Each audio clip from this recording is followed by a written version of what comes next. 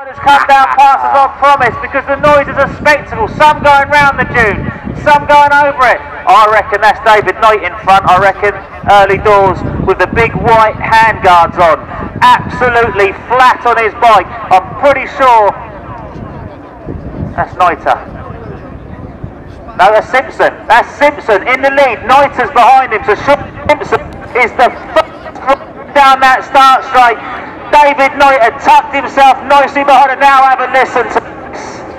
What a sight. I've never seen anything like it. It really is. And visibility is pretty good even if you're down near the back. Flip it. There's so many bikes there still coming thick and fast down that one mile back straight. Look at that. That will go on for minutes now. Look at it. How pumped would you be? Head down.